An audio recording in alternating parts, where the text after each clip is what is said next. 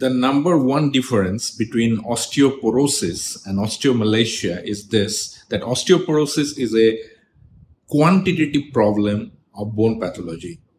When osteomalacia is a qualitative disorder.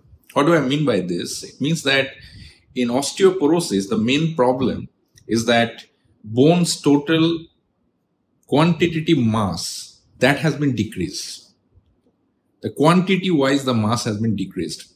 But the bone which is available its chemical composition is normal in osteoporosis.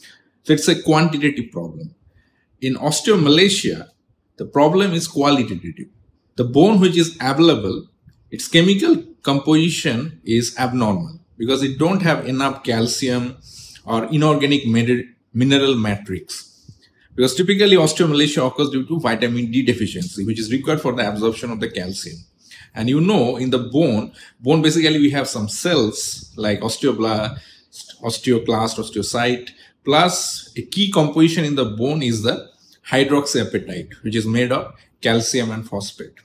So due to vitamin D deficiency in osteomalacia, impaired mineralization of the bone occurs. As a result, bone chemical composition is abnormal and it's a qualitative problem. Compared to that, osteoporosis is a quantitative problem of the bone. I'll give you another example. Let's think that you went to market and purchased a 250 gram any food item. It could be a dark chocolate, let's say. And it is written over the cover that is a 250 gram. You brought it at home and you check what is the total weight of the dark chocolate. You found that total weight of the dark chocolate is not 250 gram, but let's say 218 gram or 212 gram, 212 rather than 250. So here what has happened that quantity wise you have got less amount. So it's a quantitative problem. Let's imagine another day you went to the market, you also purchased 250 gram dark chocolate. It is written over the cover 250 gram. You purchased it and then you check what is the total weight. Total weight is 250 gram this time, but the chocolate, the quality wise, it's very poor. It looks expired or rotten. So this is a qualitative problem. So I hope you now understand the difference between quantitative problem and qualitative problem. In osteoporosis, it is a quantitative problem. The bone which is available, chemical composition wise is normal, but, but the total amount is reduced. But in case of osteomalacia, which typically occurs due to vitamin D deficiency, due to impaired bone mineralization, the total mass is not affected there, but what is affected is the composition of the bone. It's a qualitative. It's like the dark chocolate. Total weight of the dark chocolate is okay, 250 gram.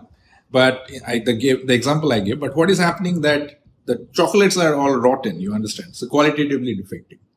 So Osteoporosis is a quantitative problem where the quantitative reduction in the total bone mass and osteomalacia is a qualitative problem where the main problem is impaired mineralization of the bone which typically occurs due to impaired mineralization means it's like a cement which makes the bone. If i build a house with pores or uh, less quality cement or poor quality cement what would happen? The house would not be very weak unstable. Similarly the bone is very weak in the osteomalacia due to same reason, due to impaired mineralization.